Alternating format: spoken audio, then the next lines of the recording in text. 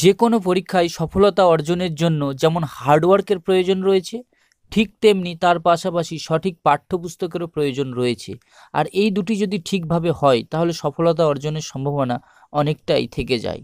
তাই আজকের এই ভিডিওটার মধ্য দিয়েই আলোচনা করতে চলেছি আসন্ন প্রাইমারি টেট যেটা দু হাজার তেইশ সালের ডিসেম্বর মাসে হতে চলেছে, সেই পরীক্ষার জন্য কোন কোন বইগুলি প্রত্যেক পরীক্ষার্থীর অবশ্যই প্রয়োজন এবং প্রত্যেক পরীক্ষার্থীকে অন্তত একবার হলে বইগুলোর সঙ্গে পরিচয় করতে হবে এবং সেগুলো পড়তে হবে। যদি এগুলো সম্ভব হয়, তাহলে কিন্তু সফলতা অর্জনের সম্ভাবনা অনেকটাই বেশি থেকে যায়। প্রাইমারি টেট প্রস্তুতির জন্য সর্বপ্রথমে বলে রাখি, বাংলার জন্য যে বইগুলো অবশ্যই দরকার সেটা হচ্ছে বামনদেব চক্রবর্তীর বই, এটা অবশ্যই পড়তে হবে অথবা কালীপদ চৌধুরী।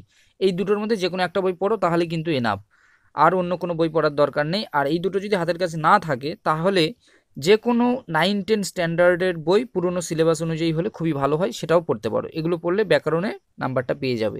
এছাড়াও যে পেডাগজি রয়েছে বা আনসিন অর্থাৎ বোধ পরীক্ষণের ব্যাপার রয়েছে, এগুলোর জন্য আমি আসছি। এরপরে এই ভিডিওতেই বলে দিচ্ছি যে কোন বইটা পড়তে হবে পেডাগজির জন্য। তার জন্য একটা বিখ্যাত বই বলব, আর সেখান থেকে প্রশ্ন বহুবার কপি হয়েছে।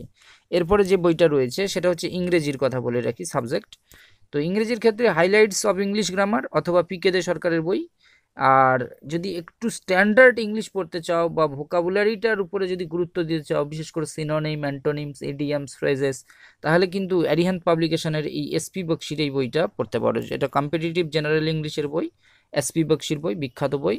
এরপরে গণিতের ক্ষেত্রে আসছি। গণিতের জন্য কোন বইটা লাগবে? গণিত কন্টেন্টের ক্ষেত্রে অবশ্যই সুবীর দাস স্যারের অঙ্ক বই, এটা অবশ্যই প্র্যাকটিস করতে হবে। এছাড়াও আমাদের ওয়েস্ট বেঙ্গল বোর্ডের যে বইগুলো রয়েছে, সেগুলোর প্র্যাকটিস করতে হবে। বিশেষ করে সিক্স থেকে একদম টেন পর্যন্ত লেভেলের বইগুলো প্র্যাকটিস করতে হবে ভালো স্কোর করার জন্য। এরপরে যে বিষয়টা রয়েছে পরিবেশবিদ্যা, প্রত্যেকটাতেই তিরিশ নম্বর করে রয়েছে, পনেরো নম্বর কন্টেন্ট আর পনেরো নম্বর হচ্ছে পেডাগজি তো এবার যে পরিবেশবিদ্যা বিষয়টা রয়েছে, পরিবেশবিদ্যার ক্ষেত্রে অনিশ চট্টোপাধ্যায়ের বই, ভীষণই বিখ্যাত বই। প্রত্যেক পরীক্ষার্থীর একদম অত্যন্ত মনের, প্রাণের এবং খুবই কাছের বই এবং যারা পরীক্ষা দিচ্ছে প্রাইমারি টেট তারাও জানে এবং যারা বহুবার দিয়েছে তারাও জানছে এবং নতুন যারা এবছর দেবে তাদের তো পড়তেই হবে এই বইগুলো, এটা পড়তেই হবে।